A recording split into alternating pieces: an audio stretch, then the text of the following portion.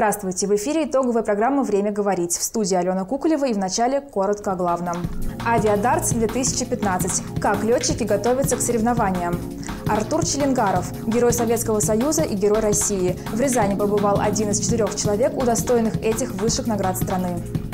Меткость глаз и ловкость рук, а в руках спортивный лук. В Рязани впервые прошло первенство ЦФО по стрельбе из лука. До международного этапа соревнований «Авиадартс» осталось менее чем две недели. «Авиадартс» стал первым конкурсом профессионального мастерства военных. Он проводится с 2013 года. В этом году соревнования пройдут на Рязанском полигоне Дубровичи. Все желающие смогут увидеть, как лучшие летчики мира выполняют фигуры высшего пилотажа и одновременно стреляют по мишеням. Как проходит подготовка к конкурсу экипажа, представляющего Рязань Казанскую авиабазу в следующем сюжете. Авиадарт – соревнования в точности стрельбы из ракетных установок и авиационных пушек по наземным целям. Организаторы подчеркивают, что несмотря на боевое применение авиаснарядов, авиадартс – это не учение, а спортивные соревнования. По итогам второго всероссийского этапа, который проходил под Воронежем, экипаж Рязанского авиацентра на бомбардировщике Ту-22М3 занял первое место. Следующий этап международный состоится под Рязанью со 2 по 7 августа. Рязанцы смогут увидеть самую зрелищную часть соревнований соревнования «Авиамикс» на полигоне Дубровича 2 августа,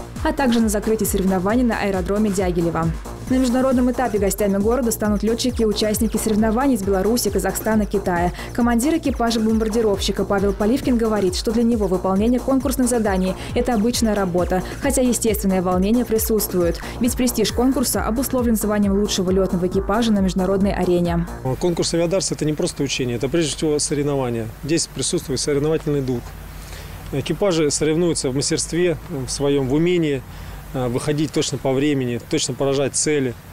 Уже в эту пятницу экипаж улетает за 450 километров от Рязани в Калужскую область. Именно оттуда летчики будут совершать конкурсный полет во время соревнований. Программа конкурса держится в секрете, но для того, чтобы это было зрелищно.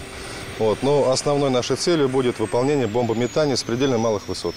Постановка задачи, завершительная проверка самолета, тренировка, подготовка к соревнованиям проходит в режиме рабочих будней.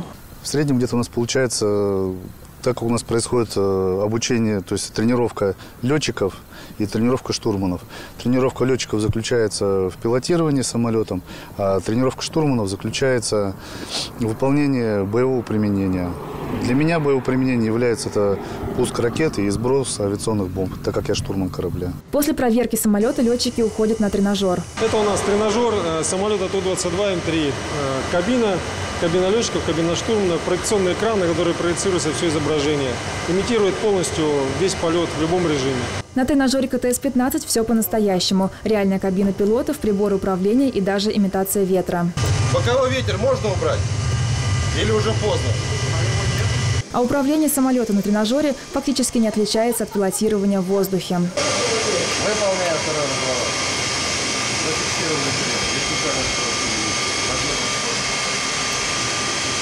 Только за бортом огромный монитор. На нем взлетная полоса, мы набираем высоту, и вот он. Город под нами размером со спичечную коробку. Вот, э, значит, наш учебный тренажер полностью имитирует полет э, самолета. Э, на данный экран выводится изображение, которое соответствует реальной местности, на которой мы выполняем полеты. То есть взлетная полоса, стоянка самолетов. В процессе набора высоты подсылающей поверхность, города, деревни и в том числе город Рязани, заход на посадку. И это все соответствует тому именно, а, что летчик видит из кабины в реальном полете. Правда, на сильно большую высоту не взлетаем, ведь конкурс предусматривает выполнение заданий с малых высот. Именно здесь летчики отрабатывают технику взлета, посадки самолета, а также выпуск бомб и ракет. КТС-15 – тренажер, на котором штурманы и летчики выполняют реальные задания реального полета. Не хватает только высоты. О том, как можно посетить и увидеть соревнования, смотрите интервью с участником и организатором соревнований в программе подробности на нашем сайте город62.тв. К другим новостям. На ремонт гарнизонного дома офицеров в Дягилево выделят 20,5 миллионов рублей. Речь идет о здании на улице Белякова, которое сейчас находится в аварийном состоянии. Деньги будут перечислены Управлению культуры администрации Рязани. В каком состоянии здание сейчас и что с ним станет после ремонта, выяснил Роман Дворецков. В нашем городе предостаточно заброшенных домов, которые не красят внешний облик города. Так, например, Дом офицеров Дягилева переживает не самую лучшую часть своей жизни. Несколько лет это помещение никому не принадлежало. Министерство обороны открестилось от него и сбросило с баланса данное имущество. И вот теперь очередная поворотная точка в истории значимого для военного городка объекта. В скором времени в этом здании будет располагаться детская школа искусств. В здании бывшего, э, бывшего дома офицеров по улице Белякова, 7 предполагается размещение детской школы искусств номер 9. Для этих целей сейчас проводится капитальный ремонт помещений, прилегающей территории. Выполнен уже ремонт кровли, установлены новые оконные блоки, ведется ремонт фасадов. Наравне с Дягилевским домом офицеров восстанавливается здание по улице Белякова, 7. В невзрачных и унылых развалинах в ближайшее время расположится поликлиническое отделение городской больницы номер 10. Сейчас выполняются за счет средств муниципального бюджета выполняются работы по благоустройству территории, э, наружным инженерным сетям. За счет внебюджетных средств э, ведется ремонт помещений. Сейчас в этих строениях ведутся восстановительные работы, а совсем недавно оба здания находились в плачевном состоянии, и одно из них даже пережило пожар. Жители надеются, что в скором времени эти дома обретут вторую жизнь и больше никогда не придут в запустение. К экономическим новостям. В среду, 15 июля, рязанские приставы навестили должников, не оплативших штраф за пьяное вождение. В результате мероприятия двое граждан погасили свои долги на сумму 30 тысяч рублей на месте. Еще у двоих приставы арестовали бытовую технику. Об итогах работы судебных приставов за первое полугодие расскажет Оксана Тебенихина. Судебные приставы подводят итоги работы управления за первое полугодие. На сегодняшний день отмечается увеличение количества исполнительных производств по сравнению с аналогичным периодом прошлого года со 170 до 246 тысяч. Сумма предъявленных материальных требований выросла до 19,7 миллиардов рублей, что на 12% больше, чем в первом полугодии 2014 года. Исполнительных документов у нас поступило почти на 20 миллиардов рублей. На сегодняшний день мы порядка 115 тысяч окончили уже исполнительных документов. И вот в первом полугодии судебными приставами было взыскано 885 миллионов рублей. Также на текущий период этого года почти на 10% увеличилось количество исполнительных документов на взыскание задолженностей по зарплате. И теперь ее сумма составляет без малого 60 миллионов рублей. Мы окончили 505 исполнительных производств э, и взыскали 15,2 миллиона рублей. Это в пользу работников также к приставам поступило 109 тысяч исполнительных производств об административных правонарушениях. Из них около 87 тысяч – это штрафы ГИБДД. Еще одно направление работы судебных приставов – наложение ареста на денежные средства, находящиеся на счетах должников. Отныне ответственность за своевременное предоставление достоверной информации о доходах лежит на самих должниках. Граждане обязаны передать приставам документы, подтверждающие наличие имущества и доходов, не подлежащих аресту.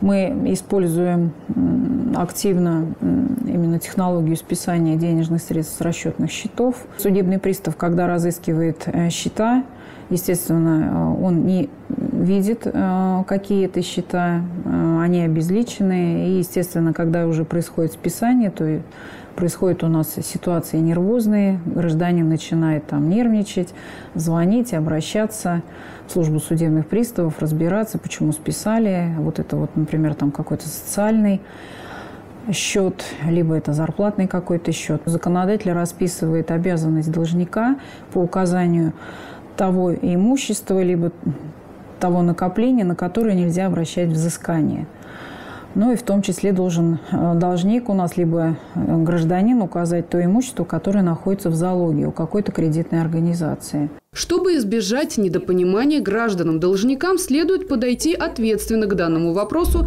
и как можно быстрее сообщить номера карт и их целевое назначение. Это позволит уменьшить количество ситуаций, требующих исправления. Рязань-Стат второй месяц подряд регистрирует в нашем регионе продуктовую дефляцию. Но все же пока цены не могут порадовать горожан. Ведь с начала года товары и услуги подорожали в среднем на 8,4%, а продуктовая инфляция и вовсе составила 11%. Тем временем рязанцы попали в группу самых пессимистически настроенных жителей крупных городов страны. Таковы результаты опроса Департамента социологии финансового университета при правительстве Российской Федерации. В безоблачном будущем предприятий, на которых они работают, уверены только 70% рязанцев финансов. Сказывается ли настроение людей экономический кризис и на чем приходится экономить больше всего? Об этом мы спросили горожан. Ну, конечно, цены изменились, и А рязанцам приходится также меньше денег тратить на продукты. Самое главное – мясо. По 500 рублей разве купишь на пенсию? Не купишь. Вот, а так стараемся. Мы взрослые, нам немножко легче, мы умеем и экономить, и умеем как-то жить. Бананы очень подорожали. Я за три банана отдала 180 рублей. Да, у меня двое детей, один грудничок, соответственно, детское питание довольно-таки хорошо подорожало. Пришлось корректировать свой бюджет, чтобы не обелить ребенка. Пришлось. Покупаем большинство по акциям. Деликатесы, которые ранее продавались, которые сейчас входят в список а, запрещенных к импорту. Что по объективным причинам не получается купить. Ну, конечно, я пенсионер. Уже давно. Конечно, чувствуется. Но вообще, так думаю, что наш президент правильную политику ведет. Пожестче ему еще. Да, конечно, цены растут, как на дрожжах, это естественно. Но что-то, что было стабильное, мы оставляем. А так, получается по принципу не то, что нравится, а то, что по карману. Вот действительно это есть. И зарплата немножко уменьшилась. Традиционное июльское повышение цен на жилищно-коммунальные услуги для горожан сюрпризом не было. Но по непонятным причинам некоторым гражданам уже начал приходить расчет за июнь, правда по новым тарифам. Насколько это правомерно и куда следует обращаться, если вы заплатили больше положенного, выяснил Глеб Галушкин. Пенсионерка из Дашковой песочни Татьяна Николаевна Рожко, придя 9 числа на пункт приема платежей за коммунальные услуги, неожиданно обнаружила в своей квитанции за июнь сумму, рассчитанную почему-то по новым, увеличенным июльским тарифам. Вот, я платила в прошлом году за июль день получения пенсии 16 июля. Вот по старым тарифам. А э, в этом году я заплатила 9 июля за июнь уже взяли по новым тарифам. Далее, после похода на КВЦ, Татьяна Николаевна стала общаться со знакомыми и соседями. И похоже, что тема увеличенных сумм в платежках на оплату коммунальных услуг стала сейчас основной в разговорах жильцов микрорайона. Я не поленилась, взяла книжки у своих соседей. Кто платил 2 июля, взяли по старым тарифам а с 7-6 уже по новым. Мне тоже пришлось заплатить по новым тарифам 9 числа. Я, дали мне телефон КВЦ центральному, сказали, что вернут. Но вернут или нет, не знаю. В начале июля чиновники городской администрации, чтобы вопросов у рязанцев по расчету платежей было поменьше, вынуждены были опубликовать разъяснения. В них, в частности, говорилось, что в соответствии с правилами предоставления коммунальных услуг в многоквартирных домах, потребитель вправе ежемесячно с первого до последнего дня месяца снять и передать текущие показания своих счетчиков в ресурсоснабжающую организацию. В таком случае начисление платы за коммунальные услуги производится по тарифам, действующим в этом месяце. Однако, по результатам рабочего совещания в администрации города Рязани чиновники приняли решение в отношении потребителей, уже передавших свои показания с 1 июля, сделать им перерасчет с применением июньских тарифов. За переплату жильцы вправе требовать перерасчета, говорят и юристы. Вообще, правила оказания коммунальных услуг предусматривают оплату до 10 числа месяца за предыдущий период. То есть, если у вас на дворе июнь или май, то вы должны платить 10 числа месяца по тарифам, скажем так, старыми. Речь идет просто о воровстве. Поэтому об этом надо писать, во-первых, прокуратуру района, государственную жилищную инспекцию о том, что имеет место незаконное увеличение оплаты за услуг ЖКХ. Дело в том, что эти услуги относятся к регулируемым тарифам, тариф, который устанавливает наша местная власть. И если они превышают эти цифры, а это может быть превышение по инициативе председателя ТСЖ, директора управляющей компании, сговор председателя ТСЖ с бухгалтером, который выставляет неправильные счета, которые поступают вот через КВЦ по которым вы в дальнейшем платите. В общем-то, сейчас перерасчета за июнь вместе с другими гражданами ждет и Татьяна Николаевна Рожко. Хотя ситуация, при которой добропорядочные граждане, которые всегда вовремя и в срок оплачивают счета, а затем еще и вынуждены доказывать свою честность, в некотором смысле представляется даже забавной. Хотя смешного в этом как-то мало. И откуда взялся, а главное, с чем связан такой бурный энтузиазм рязанских коммунальщиков в отношении переделки платежных квитанций, не дожидаясь окончания июля. В общем, пока вопросов больше, чем ответов. Рязанский полицейские ищут очевидцев вырубки молодых деревьев, которые были посажены на аллее между двумя крупными торговыми центрами на Московском шоссе. 18 лип по-варварски попросту сломали. Об этой истории рассказал Роман Дворецков. Внешний облик города может многое сказать про его жителей. И надо сказать, что администрация города все-таки пытается придать Рязани должный вид. С горем пополам дороги приводятся в надлежащее состояние. С переменным успехом поддерживается чистота на улицах. В общем и целом есть продвижение в лучшую сторону. К сожалению, не всем горожанам нравятся такие перемены. Один из последних случаев произошел на Московском шоссе. Там на этой неделе неизвестные вандалы уничтожили 18 молодых лип. Скажите, как вы относитесь к этому акту вандализма? Очень плохо. Деревья нужны. Городу очень нужны. Ломать их ни в коем случае нельзя. Зелень – это наше богатство, это наше украшение. Это наша жизнь вообще-то. Очень отрицательно. Деревья нужно сажать, потому что много леса погорело. Вот, много леса гибнет. Корневая губка. Я сам лес пилил. То есть спиливали мы гиблый лес, вот, сухой, а сажали новый. Вот. То есть деревья нужно наоборот засаживать. Ужасно. Я считаю, что деревья ломать нельзя. Все-таки они дают свежий воздух, и это бесполезное занятие, что они так сделали. Это ужасно. Скажите, а почему в Рязани так не любят красоту? Честно говоря, даже не знаю. Люди разные бывают, каждому свое, в принципе. Поврежденные деревья были посажены вдоль тротуара, недалеко от крупных торговых центров города. Это событие, безусловно, вызвало широкий общественный резонанс. На инцидент отреагировали не только экологи, а также пользователи социальных сетей, которые наравне с полицией сейчас разыскивают вандалов, но пока безуспешно. А вот когда все-таки вандалов найдут, было бы крайне интересно узнать мотив совершенного поступка. Чем так помешали молодые липы? Адекватного ответа, наверное, ждать не стоит. В общем, сейчас рязанские правоохранители просят всех, кто мог видеть злоумышленников, обращаться в дежурную часть. Тем временем дирекция по благоустройству города почитали урон, который нанесли вандалы. Об этом нам рассказала заместитель начальника благоустройства города Ольга Свинцова. Такой случай у нас а, впервые произошел на территории города Рязани. Мы, конечно, приняли все меры. А, комиссия по охране зеленых насаждений выехала на место, был составлен акт, соответственно, был посчитан ущерб восстановительной стоимости, который был нанесен а, городу Рязани. Он не маленький, этот ущерб составляет более 1 миллиона 300 тысяч рублей, и все материалы своевременно переданы в правоохранительные органы для того, чтобы найти виновного и, безусловно, его наказать. Наказание сейчас э, в соответствии с законодательством может быть как административного характера, так и уголовного характера. Безусловно, в случае, если виновные лица будут установлены, то еще а, восстановление зеленых насаждений будет происходить за их счет. В случае, если такого не случится, то тяжесть восстановления озеленения на Московском шоссе опять же ляжет на бюджет города Рязани.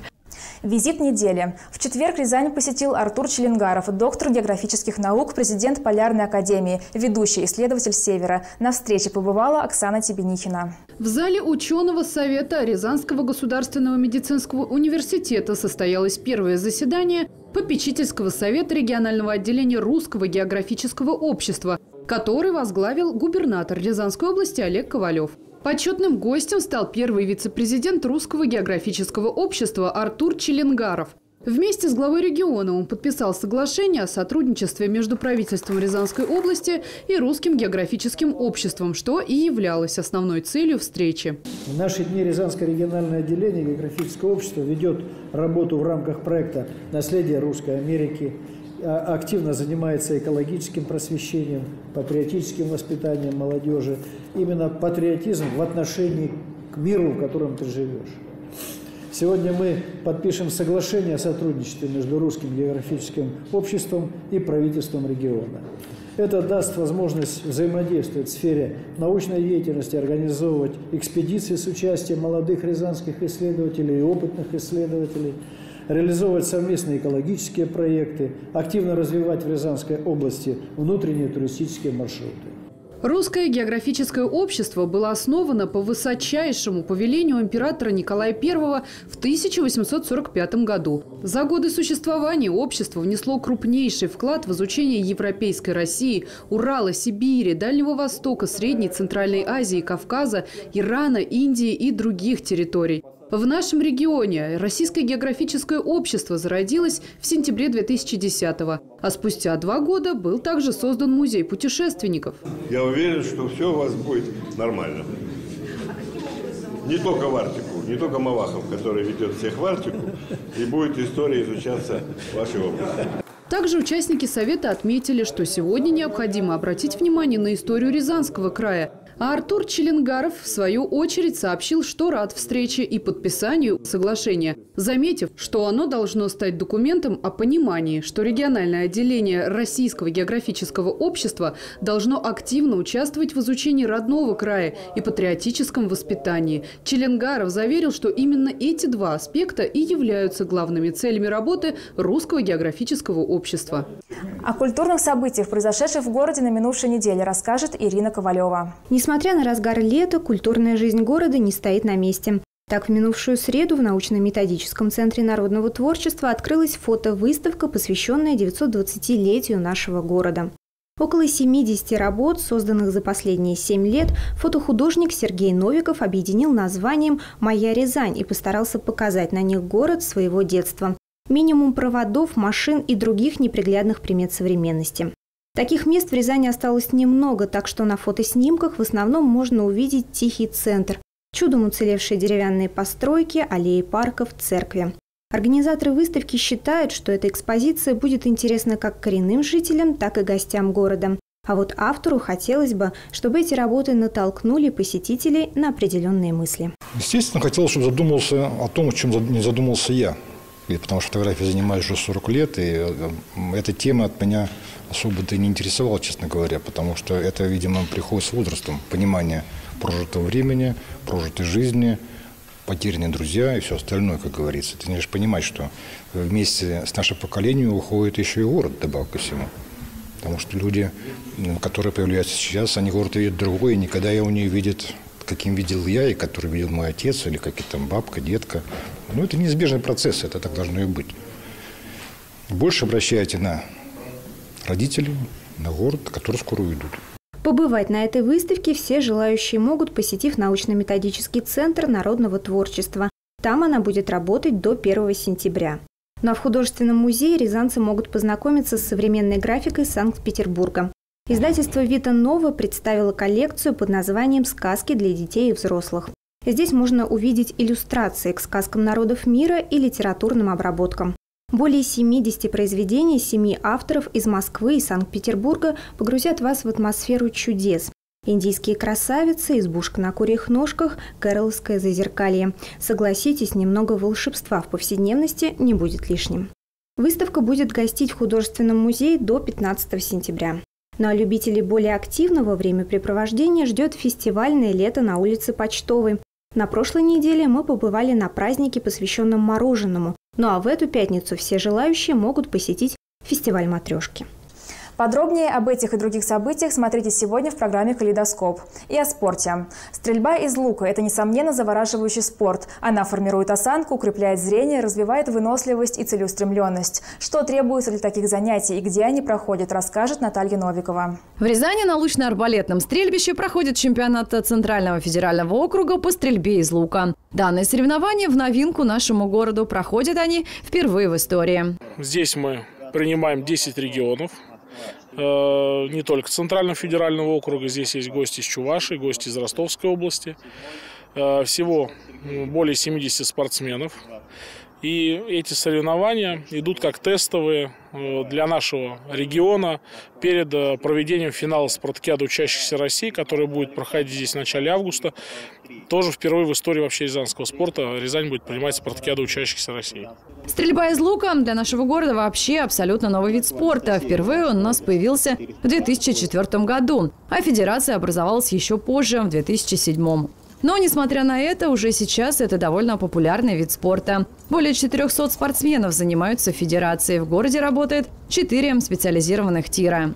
Ну а что касается непосредственно соревнований, проходили они на ура. Да и погода, к счастью, не подкачала. Радуя солнышком, поддерживала спортивный дух участников.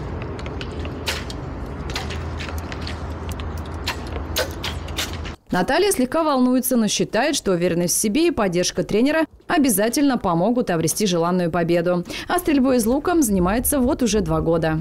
А почему вообще решила заниматься стрельбой? Я как-то раз поехала на байдарках, и там мужчина сделал свой лук. Я попробовала, и мне, правда, очень сильно понравилось, и заинтересовалась. И приехала в Рязань, и поискала в интернете, и нашла, и пошла заниматься. В планах на будущее стать мастером спорта. А еще уверена, что стрельба поможет как при поступлении в высшее учебное заведение, так и в жизни в целом. А вот Дмитрий приехал на соревнования из Москвы. Как вам сегодня соревнования? Отлично. Всегда с радостью приезжаем в Рязань на соревнования. Хорошая организация, хорошее поле, гостеприимный народ. Для Дмитрия это уже далеко не первое соревнование. Стрельбой занимался еще в юности и был неоднократным призером первенств еще СССР. Теперь в спортивной карьере второе дыхание. И чемпионаты, теперь уже России, также пополнили копилку спортивных наград. Но для вас сейчас это просто удовольствие или какие-то спортивные планы все-таки имеются? Имеются, конечно. Не только спортивное удовольствие, удовольствие тоже, да. Вот. Э, есть планы, так скажем, на следующий год. Вот, поездить, так скажем, на международные соревнования. Э, ну и как бы на той же России, так скажем, повыше приподняться в звании то есть уже в тройку входить на каждых соревнованиях. Выдержка, спокойствие, усердие на тренировках и воля к победе, по словам спортсменов, путь к успеху. Ну и, как известно, в здоровом теле здоровый дух. Так что занимайтесь спортом на здоровье и обязательно будьте победителями и не только в соревнованиях, но и в жизни. Это все, что мы хотели вам рассказать. Мы прощаемся с вами до следующей недели. Хороших вам выходных. До свидания. Уважаемые жители города, Рязанская городская муниципальная энергосбытовая компания напоминает о необходимости своевременной оплаты электроэнергии, в том числе предоставленной на общедомовые нужды. Телефон для справок 40 20 40. 40 20 40.